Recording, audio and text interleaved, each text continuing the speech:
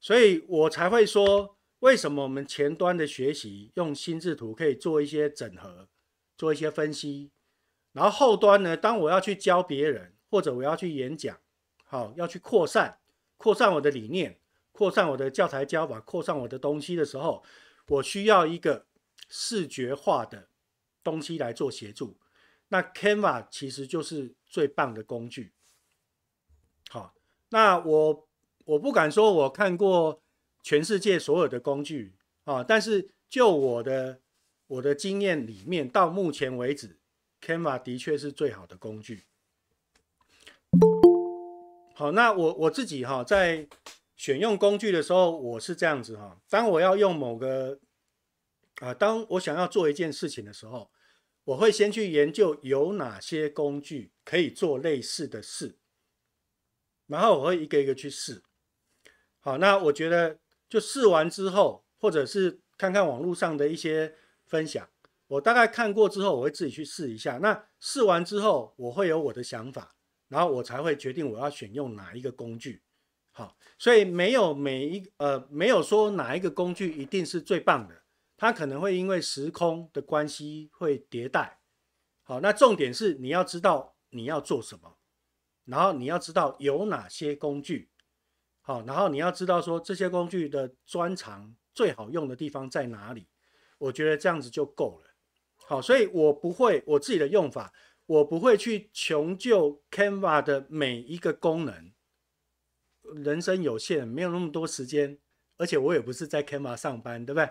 所以我就是说，呃，当我要，当我找了很多软体，我测试了之后，哎，我觉得 Canva 对我的说服力跟影响力的表达上面，我觉得它是最有帮助的，那我就会去用它的这一个部分。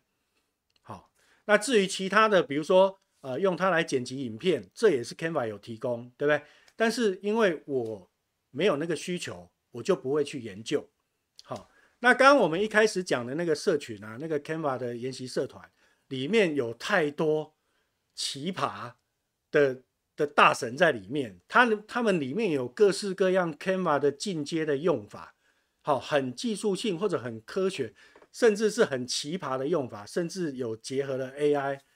结合了那个大数据，把大数据引入，直接在你 Canva 设计好的版面上去呈现动态的数据等等，好。这些里面都有，但是那个我没有在用，国中小我也用不到，所以我就暂时没有去追那些东西。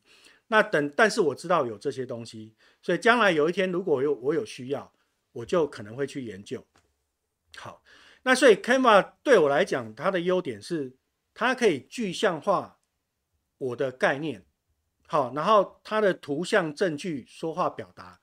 它的说服力跟给。读者的共鸣感受的渲染力是最强的。那我不需要穷尽我的美工的洪荒之力，因为我真的没有美工能力。好，但是他就很容易把我的想法能够透过这些简单的概念图案，好去做抽象的，呃，把它抽象化，能够表达在简报里面，然后做一个很很棒的，就可以利用这些简单的元素，它的图去做一个呃整合输出。